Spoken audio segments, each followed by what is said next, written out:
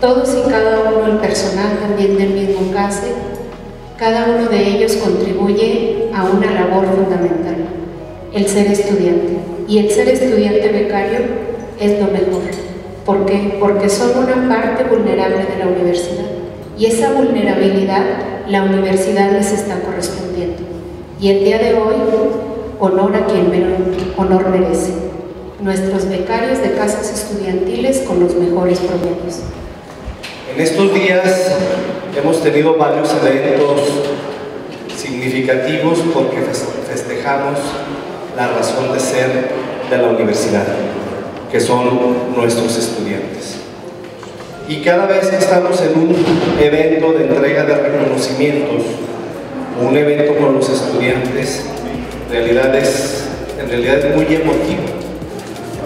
En realidad uno se identifica muchísimo con ustedes.